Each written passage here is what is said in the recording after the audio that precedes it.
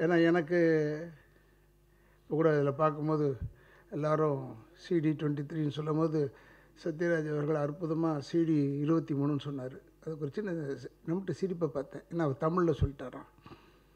அதுக்கு டிஏ மட்டும் சிடி மட்டும் எதுக்கு இங்கிலீஷில் சொல்கிறாரு இல்லையா? அதையும் தமிழ்லேயே சொல்லியிருக்கலாமே. இயக்குனர்கள் தானே ஈ தானே அது. இ இருபத்தி மூணுன்னு சொல்ல வேண்டியதானே சி பரவாயில்ல சின்னத்திரை. சிஇ இருபத்தி மூணுன்னு சொல்லியிருக்கணும். அதான் ஒவ்வொரு ஓரத்தில் ஒவ்வொருத்தவங்க புதுமையை செஞ்சுக்கிட்டே இருப்பாங்க. அதெல்லாம் பார்த்து ரசிச்சுக்கிட்டே இருக்க வேண்டியது தான் வேறு வழி கிடையாது. என் மாப்பிள்ளை தான் அதெல்லாம் நியாயமான விஷயம்.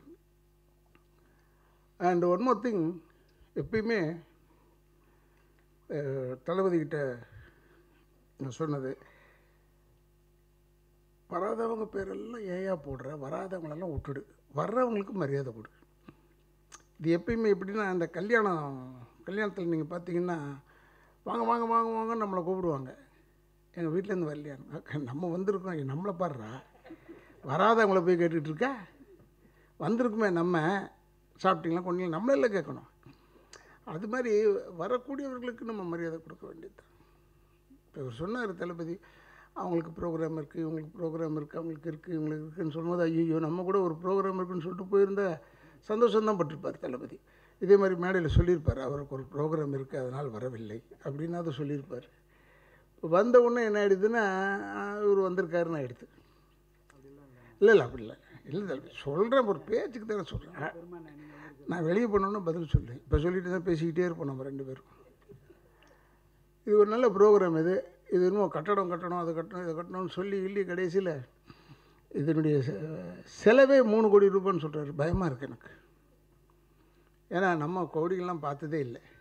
நான் உண்மையை சொல்கிறேன் ஒரு மூணு கோடி செலவுன்னா அப்புறம் உங்களுக்கு எவ்வளோ மீதி ஆகணும்? அதுக்கு ஏற்ற மாதிரி ஸ்பான்சர்ஸ் இப்போ ஐம்பது லட்ச ரூபாய்க்கு ஒருத்தரை சொல்லிட்டீங்க.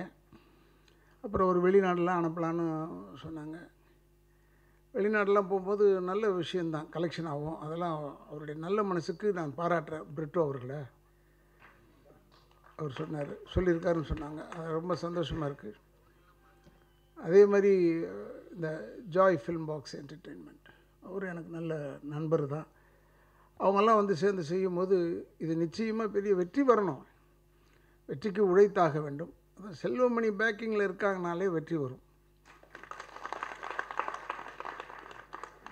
ஏன்னா அவர் வந்து எது நடக்காதுன்னு சொல்லும் போது அதை நடத்தி காட்டுவார். இப்போ இல்லை. நான் சொல்கிறது செம்பருத்தி காலத்துலேருந்து சொல்கிறேன் நான் நான் ஏன் செல்வமணி மேலே மரியாதை உண்டுன்னா எனக்கு அப்போ உடம்பு சரியில்லாமல் ஆயிடுச்சு செம்பருத்தி டைமில் இதை நல்ல இடத்துலையும் சொல்லுவேன் நான்.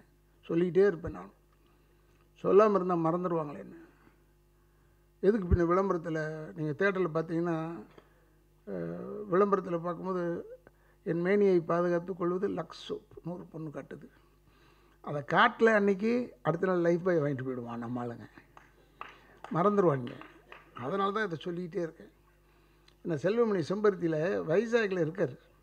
அப்போ எனக்கு இங்கே அடிபட்டுடுச்சு. சின்னத்தாய் படத்தில். ஹாஸ்பிட்டலைஸ்டு நான். மூணு மாதத்துக்கு என்னால் வர முடியாது வெளியே. ஆக்ட் பண்ண முடியாது. அந்த மாதிரி தோரணையில் இருக்கும்போது செல்வமணிகிட்ட சொல்லிட்டேன். என்னால் மூணு மாதம் முடியாதுப்பா யாரை யாரையாவது போட வேண்டியது தானே. இப்போ எப்படி சம்பளம் கட்டுப்படி ஆகலைன்னா நான் சொல்லிடுறது. எப்போ நான்லாம் வெள்ளை குதிரையை வேறு யாரையாவது போட்டுக்கு போ அப்படின்னு சொல்கிறோம் ஏன்னா நமக்கும் நாற்பத்தி ஒம்பது வருஷம் ஆயிடுச்சு இன்னும் ஐம்பதாவது வருஷம் உருட்டுற வரைக்கும் அப்படி ஒட்டிக்கிட்டே இருப்போம். அவ்வளோதான் சினிமா இனிமாலாம் அதனால் சொல்கிறது அது மாதிரி சொன்னேன் செல்வமணிகிட்ட சரி சரின்னு சொல்லிட்டார். ஆனால் செல்வமணி இப்போ வந்து ஆரம்ப காலம். இப்போ இருக்கிற மாதிரி பவர்ஃபுல் செல்வமணின்னு பயங்கரமான ஒரு பேரெல்லாம் கிடையாது. செல்வமணி ஆர்கே செல்வமணி விஜயகாந்தை வச்சு எடுத்தவர். அதனால் அந்த ஒரு பேர் இருக்குது ஆனால் அந்த மூணு மாதம் கழித்து நான் சரியான ஒன்று அண்ணா இப்போ நீங்கள் ரெடியான்னு கேட்டார். ரவி சார் நீங்கள் ரெடியான்னு கேட்டார். நான் ரெடின்னு சொன்னேன். திருப்பி வைசாக்கில் என்னை கூப்பிட்டு போய் எடுத்தார். மூணு மாதம் எனக்காக வெயிட் பண்ண ஒரே இயக்குனர் செல்வமணி. அதுக்காக சொல்கிறேன் அதனால தான் செல்வமணி எங்கே நிற்கிறாரு அங்கெல்லாம் நான் நின்றுவேன். அவருக்கு தெரியும் நான் வந்துடுவேன்னு எனக்கு அவருக்கு தெரியும். ஏன்னா சில நேரத்தில் சொல்கிறேன் நிச்சயமாக இந்த இந்த ஃபங்க்ஷன் வந்து சிடி டுவெண்ட்டி த்ரீ மட்டும் ஹிட்டுன்னா நமக்கு ஒரு பெரிய பெருமை. ஏன்னா சின்ன திரைன்னு போட்ட உடனே என்ன செய்வாங்கன்னா அந்த பெரிய திரையில் எல்லாம் ரொம்ப பேர் சின்ன திரைன்னு ஒரு லிஸ்ட்டு சொன்னாங்க. கவிதா சொல்லிச்சு ஒரு லிஸ்ட்டு சின்ன திரையிலேருந்து வந்தவர்கள் வந்தவர்கள். எத்தனை பேர் நினச்சிக்கிட்டு இருக்கான்னு தெரியல எனக்கு. சின்ன திரை எத்தனை பேர் நினச்சிக்கிட்டு இருக்காங்கன்னு தெரியாது. ஆனால் நான்லாம் வருவேன். சின்ன திரையினாலும் சரி பெரிய திரையினாலும் ஏன்னா நான் தான் முதல்ல சொன்னேன். சின்ன திரை ஆரம்பிக்கும் போது தென்னிந்திய நடிகர் சங்கத்தில் இருக்கும்போது நான் தலைவராக இருக்கும்போது சொன்னேன். சின்ன சினிமா என்பது வேட்டி கட்டுறது. சின்ன திரை என்பது கோமணம் கட்டுறது. ரெண்டுமே மானத்தை மறைக்கக்கூடியது தான் அது ஞாபகம் வச்சுக்கன்னு சொன்னேன். ஆனால் இன்றைக்கி சின்ன திரை தான் பெரிய திரைக்கு கோமணம் கட்டுது. இல்லைன்னா அங்கே கஷ்டமாயிடும். எவ்வளோ பேர் நடிகர்கள் வேணும்னாலும் இங்கேருந்து சின்ன திரையெல்லாம் கூப்பிட்டு போயிட்டே இருக்கலாம். அந்தளவுக்கு நிறைய ஆர்டிஸ்ட் இருக்காங்க. இப்போ நீங்கள் உதாரணத்துக்கு ச- சன் டிவிலாம் பார்த்தீங்கன்னா எங்கே தான் செலக்ட் பண்ணி கொண்டாடுறாங்களோ வராங்களோ ஐயோ யோ யோ யோ யோ கேட்டால் அவங்களாம் வந்து சரியாக தமிழ் தெரியலன்னு. இனிமேல் மட்டும் என்ன கிழிக்குது? தமிழாக தெரிஞ்சவங்க போடுறீங்க. அதனால் அதில் போடுறதில்ல ஒன்றும் தப்பு கிடையாது. நல்ல லட்சணமாக இருக்கிறவங்களெல்லாம் போடுறாங்க. ஆண் பெண் எல்லாரையுமே சொல்கிறோம் குறிப்பிட்டு. எல்லாரையுமே லட்சணமாக இருக்கிறவங்கள புதுசாக போடுறாங்க. அது ஒரு வியாபாரம் தானே அது. அதெல்லாம் அதெல்லாம் நம்ம ஒன்றுமே கேள்வி கேட்க முடியாது. அதனால் இந்த சின்ன திரை வந்து நீங்கள் வந்து ஸ்ட்ராங்கான ரூல்ஸ் போடுங்க. நடிகர்கள் கூட சொன்னேன் சின்ன திரை நடிகர் சங்கத்துக்கு கூட. ஏன்னா இதெல்லாம் ஆரம்பிக்கப்பட்டது வந்து நான் வந்து வாடகை வீட்டில் இருக்கும்போது அடையாரில் வாடகை வீட்டில் இருக்கும்போது வசந்த் எல்லாம் வந்து பேசி ஷர்மிலி எல்லாம் வந்தாங்க. வந்து பேசி நல்லா நான் ஆரம்பித்தது தான் இந்த சின்ன திரை நடிகர் சங்கம். இப்போ கேட்டாங்க பெரிய திரை பெரிய நடிகர் சங்கம் பாதிக்குமான்னு? ஒன்றும் பாதிக்காது. ஏன்னா அவங்க பிக் ஸ்க்ரீனு நீங்கள் ஸ்மால் ஸ்க்ரீன் அவ்வளோதான் அப்படின்னு இருந்தோம் அதனால் இதெல்லாம் ஒரு ஆரம்பிக்கும் போது நான்லாம் இருந்தவன். அதுக்காக சொல்லிக்கொள்கிறேன் நல்ல பிரமாதமான ஒரு ஷோ இது. இதில் அத்தனை பேரும் வரணும். நான் பெரிய திரையில் இருக்கிறவன் அதனால் வர முடியாதுன்னு சொல்லுவேன். வேலைகள் இருந்தால் நிச்சயமாக வர வேணாம். ஆனால் முப்பதாம் தேதின்றது அருமையான இது. அதில் நடத்திடுவாங்கன்றது ஒரு பெரிய நம்பிக்கை இருக்குது எனக்கு. எனக்கு நம்பிக்கை இருக்குது நடத்திடுவாங்கன்னு. ஏன்னா அதை விட்டு அப்புறமா கூப்பிட முடியுமான்னு எனக்கு தெரியல. ஆனால் அவர் ஒரே அடியாக நாலு மணிலேருந்து பத்து மணின்னு சொன்னார். ஆறு மணி நேரம் நடக்குது ஃபங்க்ஷன் நடந்தால் சந்தோஷம்தான். ஆறு மணி நேரத்துக்கு ஃபங்க்ஷன் நடந்தால் நல்லது. ஏன்னா நிறைய பேர் இருப்பாங்க. போட்டுக்கிட்டு போகிறவங்கெல்லாம் நிறைய பேர் இருப்பாங்க. இப்போவும் சொல்லிக் கொள்கிறேன். முப்பதாந்தேதி நீங்கள் சொல்லிட்டீங்க. அதுவும் ஞாயிற்றுக்கிழமை வச்சுருக்கீங்க. என்னை போன்றவர்கள்லாம் வந்து அந்த ஞாயிற்றுக்கிழமை மட்டும்தான். என்னை போன்றவர் தனிப்பட்ட முறையில் ராதாரேவியை போன்றவர்கள். நான்லாம் வந்து ஞாயிற்றுக்கிழமை தான் ஏதாவது ஒரு ரிசப்ஷனோ ஒரு கல்யாணமோ ஏதாவது வந்திருந்தால் அதுக்கு கொடுத்துருப்போம். அதனால் இப்போயே சொல்கிறேன் தளபதிக்கிட்ட முப்பதாந்தேதி இல்லைன்னு ஒன்றும் கவலைப்படாத.